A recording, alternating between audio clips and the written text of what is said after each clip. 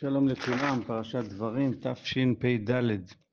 תפקחו את העיניים ותסתכלו סביב, כתבה נעמי שמר, נחכה ונראה בעזרת השם ניסי ניסים ממש בקרוב. קדש שמך בעולמך, עלה מקדשי שמך, ובישועתך מלכנו תרום, ותגביה קרננו. אבינו מלכנו, הרם קרן משיחך. כי עמך מקור חיים, באורך נראה אור. תמיד, ובימים האלה במיוחד, אנחנו סומכים על הקדוש ברוך הוא, מצפים לראות עוד ועוד ניסים והבטחות אלוקיות שמתגשמות לנגד עינינו. עוד ועוד את טובו של הקדוש ברוך הוא, ששומר עלינו כבבת עינו, ושאויבינו וכל המחבלים ימשיכו להיות מושבדים, חרבם תבוא בליבם וקשתותם תישברנה, ונוסיף עליהם לבדם. זה כבר קרה הרבה פעמים, מסוק נשיא איראן ובכיריו, הרבה מחבלים בדרגים מהנמוך ביותר עד רבי מחבלים מהשורה הראשונה, וכל הרישה כעשן תכלה וכרגע יאבדו במהרה וימינו, וזה לא רק בקשה או תפילה, אלא גם מציאות שחוזרת על עצמה ברוך השם פעמים רבות. ברוך אתה וברוך שמך לעד. בהמשך ובתוספת להקדמות של הסרטונים האחרונים, אנחנו צריכים לשמוח באמת שאנחנו בתקופת הגאולה, למרות הצער הרב שעם ישראל נמצא בו, מכמה סיבות. קודם כל, מכיוון שלזה אנחנו ואבותינו מתפללים ומצפים כאלפיים שנה ויותר.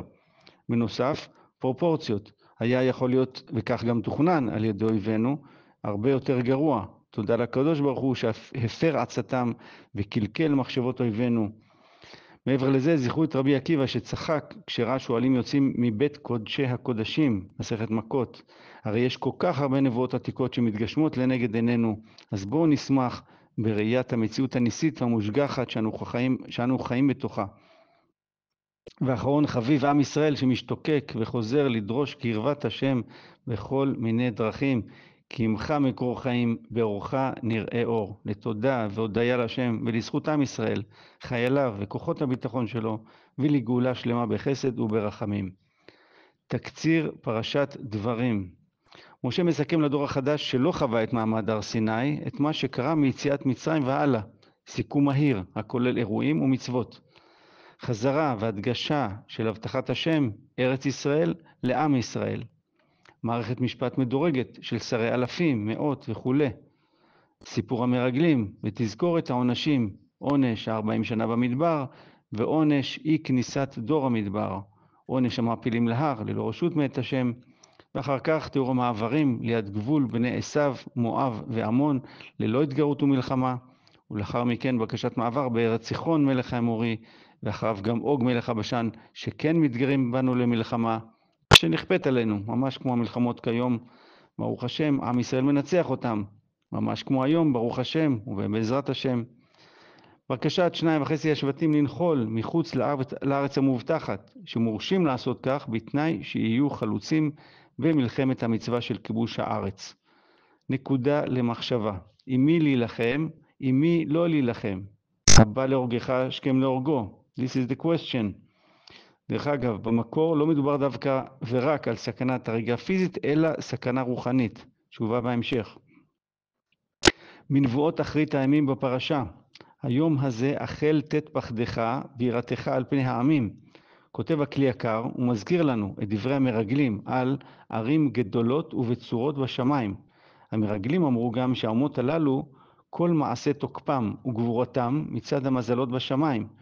וכשהקדוש ברוך הוא מפיל לאומה תחילת תפילתנו, על ידי שמפיל תחילה אלוהיה, ואחר כך על מלכי האדמה תרד. בדיוק מה שקורה בעזר השם, ברוך השם, בזמן האחרון, ברמה הרוחנית וברמה הגשמית. רצף ההתעיינות של נשיאי ומצביעי אויבינו יימח שמם, וכן ימשיכו להיאבד מן העולם במהירות ובמהרה, כולם ולבדם, כוונתי ללא נפגעים לעם ישראל. לימדה תורה דרך ארץ מהפרשה. ויהי כאשר תמו וכולי, וידבר השם אליי.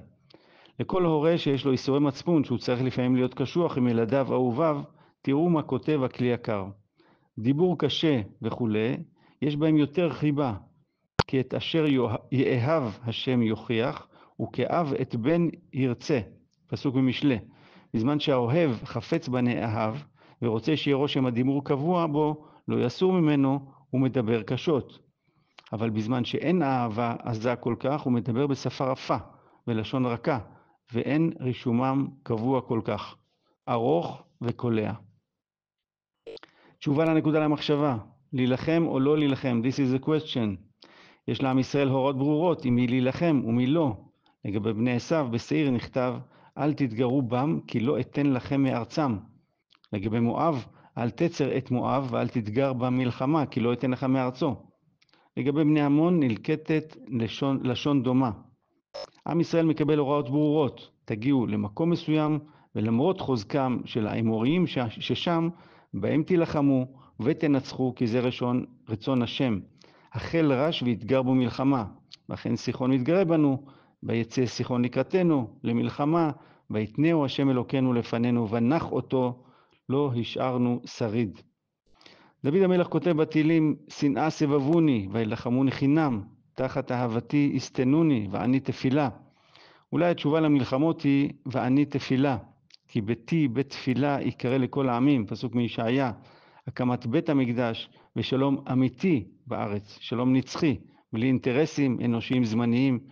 בואו נתפלל לזה יחד. פסוק אופטימי מהפרשה, מספר פסוקים. כי השם אלוקיך ברכך בכל מעשה ידיך. השם אלוקיך עמך לא חסרת דבר. עוד אחד, כאשר נשבע השם להם. אמנם גם הזכרתי את הפסוק הזה גם בשנה שעברה, בדרך כלל אין כפילות בסרטונים קודמים, אבל יש צורך מיוחד לעידוד עם ישראל אל מול האיום האיראני הנוכחי.